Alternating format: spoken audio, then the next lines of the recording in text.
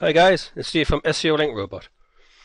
In this video I'll go through the Web 2.0 poster. As you can see we've opened the poster up and within this module as you can see we have the current campaign preloaded. We can change campaign using the drop down as you can see.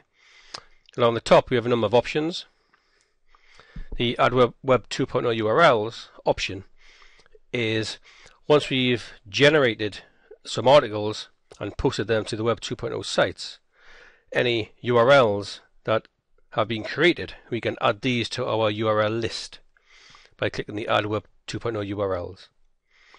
This is particularly useful when we're creating links to our tier sites.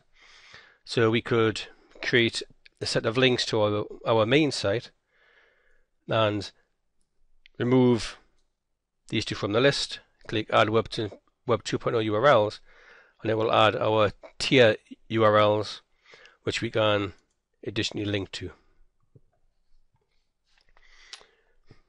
Within this module we, we can create Web 2.0 accounts as well if we wish. We select create accounts the are created. In the spinnable article section, we can either paste in our data or we can actually find the data via the find article in the toolbar. We add spinnable syntax in these fields using the ident sims or we can right click on the field and choose which field we wish to insert the syntax into. For example, this is a test article that we want to have spun and we can do the title text let's find the synonyms and as we see depending on the level of synonyms and quality we set, will depend on what the syntax is which we actually get within this field. If you do the ident sims, it does all of the fields. You can also add syntax within the description field as well using the identify and insert sims description. So we will find an article. The article keywords by default are based on the keywords in your keyword list. So we'll do find article. As you can see on the screen, we can download articles from five directories, which we'll choose all five. We'll leave them as they are. We can choose to download up to 20 articles per site, but I'll just do the one, then find articles. It goes and finds the articles on the site, but it finds one article for each keyword. So article base has one for keyword 1, keyword 2. If it can't find any articles from that site, you won't see articles listed in the list. You've got one, two, three, four. So article alley has actually found no articles. We'll download, we'll download them all. Select all and download selected articles. Once downloaded, we can view the content to see which is best for our needs.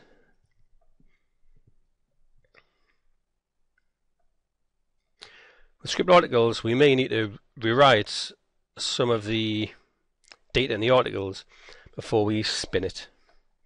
So we'll check that.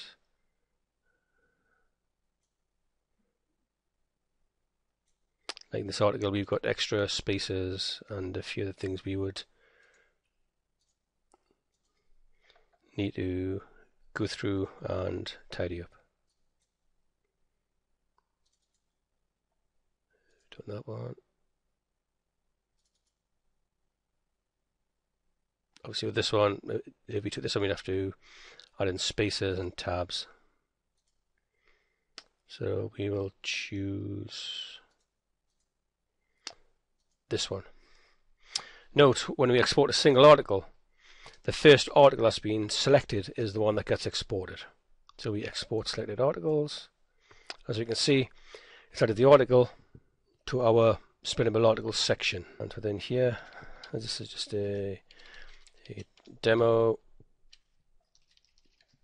I will just tell you this. Right. And we'll do ident sims and you'll spin this.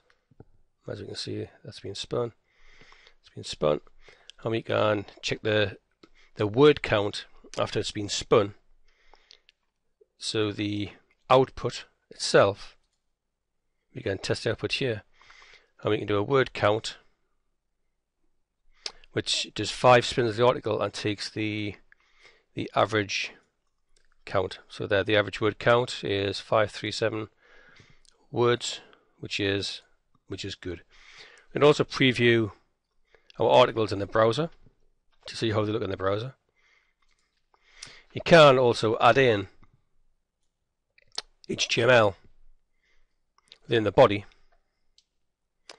If you, for example, want a picture added in, some of the sites support embed tags for video. Some don't, so you can add these in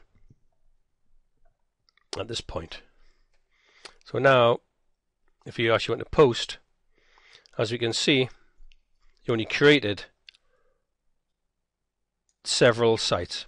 So those sites in white are the ones we can actually post to. We can, if you wish, add footer links to the articles.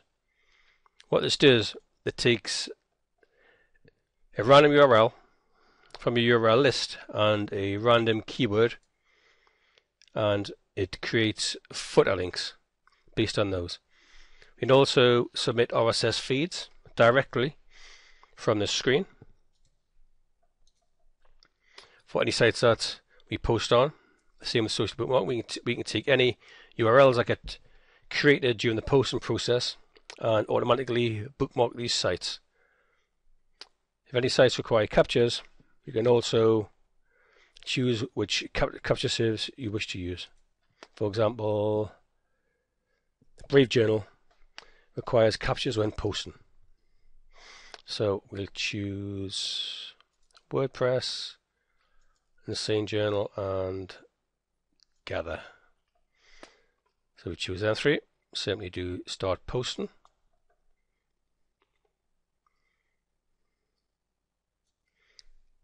As you can see, we've got separate windows being used for each posting. As you can see that being posted.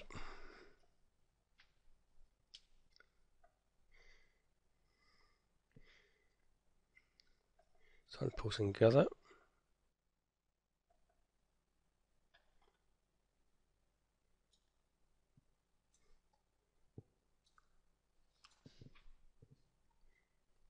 This will retry.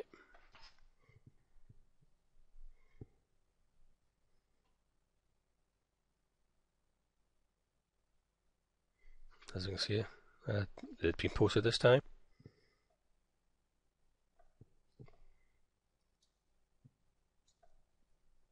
And we have three articles which have been posted. And these would have been auto bookmarked and these RSS feeds would have been auto-submitted. The other thing we can do with our articles is add in our URLs. We can, if we wish to create a linked site, such as a link wheel, you can add in what's called a random tag. This random tag takes the last posted URL and creates the linked anchor text for that URL.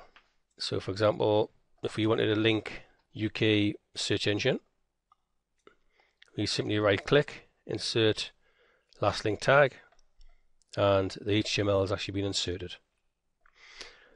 We can also create a random link tag which recurses through the URL list and posts to your sites based on the URL list. So, for example, if we have one random tag on, for example, flexible campaigns,